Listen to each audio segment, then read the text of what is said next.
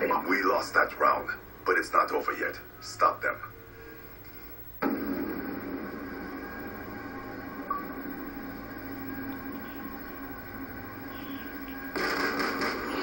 I got a video of it. Switching sides.